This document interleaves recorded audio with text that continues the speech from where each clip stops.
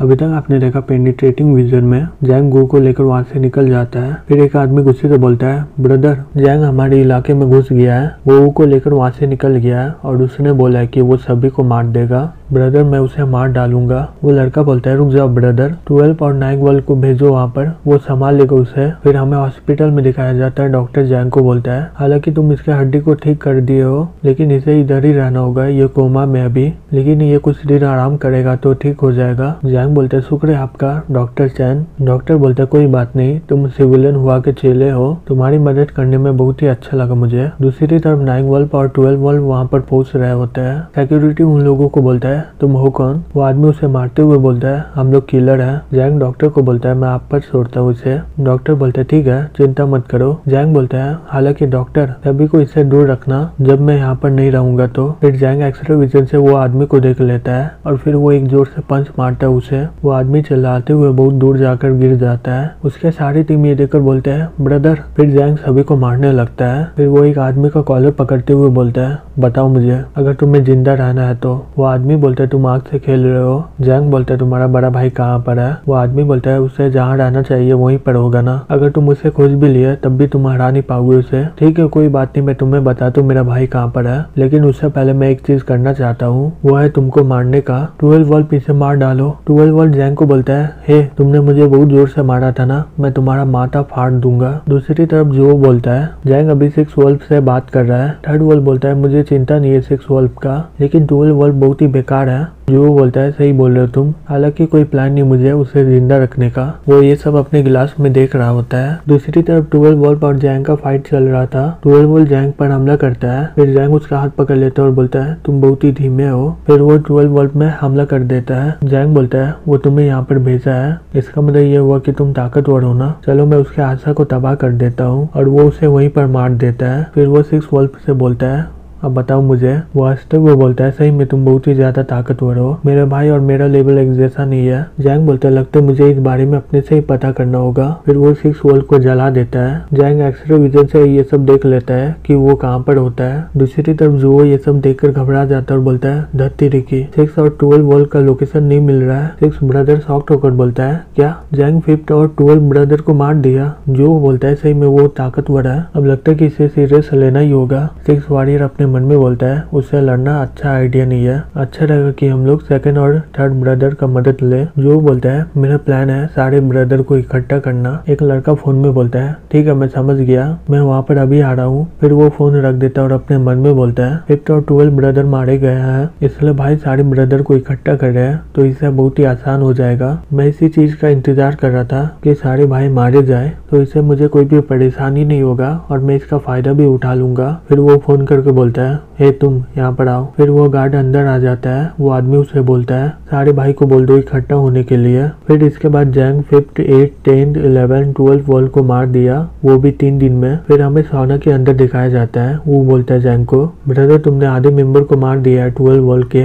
अभी तक जुआ कुछ क्यों नहीं कर रहा है? जैंग बोलता है, वो मौके का इंतज़ार कर रहा है, लेकिन मैं उसे ज़्यादा समय नहीं दूँगा। इस दुनिया में मुझे बहुत ही लोग जानते हैं, लेकिन मेरा मास्टर आशा करता है कि मेरा नाम ये दुनिया में हो। अभी मैं हुआ से लड़ने वाला हूँ, जो डैन फोर्स के हाफ़ स्टेप में है। अगर मैं उसे हरा दिया तो इससे बहुत ही मदद मिल जाएगा मुझे। मैं उसे चैलेंज कर दिया हूँ लड़ने का। गु बोलते हैं, ये लड़ाई कहाँ पर होगा? जैंग बोलते हैं, उनके बेस में। मैं सभी को मार डालूँगा और मैं जुआ को सबके सामने हराऊँगा। दूसरी तरफ़ हमें डी बिल्डिंग के अंदर दिखाया जाता है। एक आदमी बोलता है, एक चैलेंज वो बहुत ही ज़्यादा भाव का रहा है ना? तीसरा भाई, हम लोग उसे ऐसे ही अपना इज़्ज़त बर्बाद नहीं करने देंगे। दूसरा आदमी बोलता है, अभी की सिचुएशन में हम लोग उसे सो भी नहीं सकते हैं। क्या कोई खबर आया सेकंड की ओर से वो आदमी बोलता है, नहीं अनाउंसर सभी को बोलता है, सभी लोग सुनिए, अभी ये बिल्डिंग में अल्टीमेट चैलेंज शुरू होने वाला है और वो सभी को लाइव दिखा रहा होता है और फिर वो चिल्लाते हुए बोलता है जैंग जून का गाड़ी आ रहा है यहाँ पर, ये फाइट पूरा दुनिया देखना चाहता था। इन दोनों लेजेंड के बीच में कौन जीतेगा? चलो देखते क्या होता है। जैंग आगे बढ़ते हुए बोलता है, जुआ कहाँ पर है? यहाँ पर इतना शांति क्यों है? तभी कुछ आदमी जैंग के सामने आ जाता है और वो दोनों जैंग पर हमला कर देते हैं। जैंग उन दोनों के हमले से बच जाता है और दोनों को मार के फेंक देता हूँ वहाँ से फिर जैंग उन दोनों के पास जाकर बोलता है, जो कहाँ पर है? वो दोनों आपस में बात करते हुए बोलते हैं, ब्रदर, हम दोनों को मिलकर इसे हराना होगा। दूसरी तरफ़ जुआ बाहर आ जाता है और बोलता है, मेरा कल्टीवेशन कंप्लीट हो गया। और वो जैंग की ओर जाने लगता है। वो आदमी चौथे वल्फ को बोलता है, लेकिन हम लोग उसे रोकेंगे कैसे? और बोलता है, मैं उसे मार डालूँगा। फिर वो जैंग पर हमला करने वाला होता है। जैंग बोलता है, मैं तुम्हें अपना असली ताकत दिखाता हूँ। फिर वो रियल ड्रैगन का इस्तेमाल करता है और उसे वहीं पर मार देता है। तभी अचानक से बिल्डिंग के सारे दरवाजे टूट जाते हैं। जैंग ये आवाज़ सुनकर सॉफ्ट हो जाता है और बोलता है, क्या हो रहा है यहाँ पर? फिर वो पीछे देखता है, वहाँ पर जुओ खड़ा होता है। फिर जुओ जैंग पर हमला करते हुए बोलता है, मैं तुम्हें आज मार डालूँगा। फिर जैंग उसके हमले से निकल जाता है वहाँ से। जुओ बोलते है, तुम मेरे पन से नहीं बच पाओगे। डेडली उल पे स्ट्राइक फिर उसके पीछे एक बड़ा सा जानवर आ जाता है। और जैंग पर हमला कर देता है। जैंग अपने मन में बोलता है, ये उन लोगों से बहुत ही ज़्यादा अलग है। इसका ये ताकत का पंच बहुत ही ज़्यादा ऊपर लेवल का है। क्या अभी तक बाल मिशन को कंप्लीट नहीं किया है क्या? दूसरी तरफ़ उल गैंग वाले लिन को किडनैप करके रखे होते हैं। तभी वहाँ पर टीम एक्स वाले हमला करते हैं। ये देखकर सभी लोग शॉक्ट हो जाते हैं और बोलते हैं, क्या हमारा बेरियर पूरा तबाह हो गया है? एक आदमी उन दोनों के पास आ जाता है और बोलता है यहीं पर रुको। अगर तुम्हें ज़िंदा रहना है तो फिर दूसरा आदमी बाल को बोलता है, मिशन कंप्लीट हो गया है। फिर बाल जैंग को बोलता है, जैंग, मुझे माफ़ करना, तुम्हें इतना इंतज़ार करवाया। हमने तुम्हारे लोग को बचा लिया है, अब तुम लड़ सकते हो। फिर जैंग अपना ताकत का इस्तेमाल करके वो राक्षस के जंगल से निकल जाता है। फिर वो रियल ड्रैगन का इस्तेमाल करके जुआ को एक ज़ोर से पंच मार देता है, जिससे उसका पछली टूट जाता है। जुआ अपने मन में बोलता है, ये क्या है? इसके हाथ से मेरा तीन हड्डी टूट गया है। अगर मैं धीमा रहा तो मैं मारा जाऊँगा। फिर वो जैंग को बोलता है, बहुत दिन हो गया ऐसा फाइट किया हुआ। सही में तुम बहुत ही अच्छा लड़ते हो। तो मैं तुम्हें किसी भी हालत में मार डालूँगा। जैंग बोलता है, तुम्हारे जीतने का को कोई भी चांस नहीं है। फिर जैंग रियल ड्रैगन से उस पर हमला करता है। जो अपने मन में बोलता है, क्यों?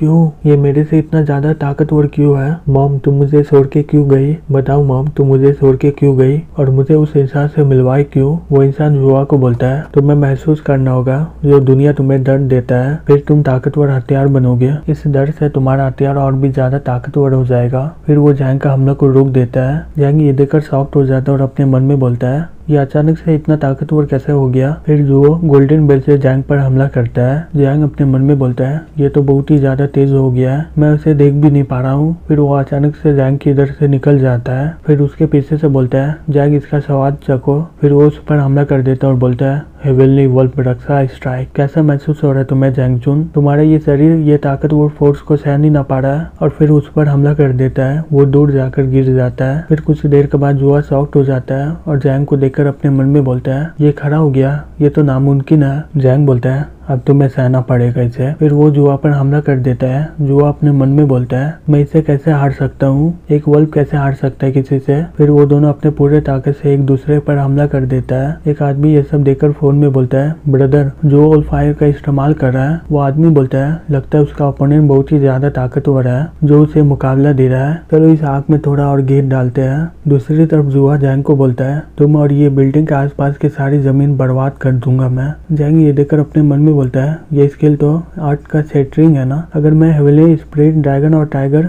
और इमोर्टल वे का इस्तेमाल करूँ तो शायद मैं इसे रोक पाऊँगा। फिर वो जुआ पर हमला कर देता है। फिर जैंग को बहुत ही ज़ोर से झटका लगता है और अपने मन में बोलता है, लगता है कि मैंने इसका इस्तेमाल बहुत ही ज़्यादा कर दिया। जुआ हँसते हुए बोलता है, तुम्हारे साथ ये होना चाहिए। तभी वहाँ पर सेकंड वल्फ आ जाता है और बोलता है, देखो यहाँ पर ज़मीन में कौन गिरा हुआ है? जुआ पीछे मुड़ के बोलता है, ये आवाज़ तो सेकंड वल्फ का है। यहाँ देखो तुम्हारा पहला भाई, जो तुम्हारा सबसे दुश्मन था ना पहला। जुआ बोलता है, तुम पहले वुल्फ हो ना? वो आदमी बोलता है, तुम्हें याद हूँ मैं ब्रदर जुआ शॉक्ट होकर बोलता है, नामुमकिन, मैं इसे मार दिया था। जुआ बोलता है हाँ सही बोल रहे हो तुम, लेकिन मैंने बहुत ही ज़्यादा पैसा खर्च किया और इसे एक रॉबोट बना दिया। या फिर बोलूँ मैं, एक हथियार जो तुम्हें मार देगा। जैंग खड़ा हो जाता है और बोलता है, तुम मज़ाक कर रहे हो ना? तुम इंसान का ज़िंदगी को समझ क्या रखे हो? सेकंड वर्ल्ड बोलता है, तुम अपने काम से काम रखो। फिर वो अपने रॉबोट को बोलता है, इसे चुप करवाओ, लेकिन इसे ज़िंदा रखना। फिर वो जैंग को एक ज़ोर से मुक्का मारता है और वो वहीं पर बेहोश हो जाता है। दूसरी तरफ़ बाल सॉफ्ट होकर बोलता है, क्या? एक इंसान अचानक से आ गया और हमारे इंसान को मार रहा है। जियान बोलती है, वो कौन है? बाल बोलता है, हेलो जियान, बात कर रही हो। जल्दी से हुआ को खबर करो। यहाँ पर बहुत ही ज़्यादा सीरियस बात हो रहा है। मैं तुम्हें लोकेशन भेज रहा हूँ। जियान शॉक्ट होकर बोलती है, क्या? जैंग खतरे में है? बस वल्फ जैंग का बाल पकड़ लेता है और बोलता है, तुम्हारी कोई आखिरी ख्वाहिश है क्या? मैं अंडरग्राउंड का मास्टर बनने वाला हूँ, लेकिन तुम इस दुनिया के बेकार इंसान रहोगे। तभी पीछे में कुछ हमला हो रहा होता है। ये देखकर सेकंड बोलता है, वहाँ पर चल क्या रहा है? तभी जियान आगे आ जाती है और बोलती है जैंग को हमारे हवाले कर दो नहीं तो तुम मारे जाओगे।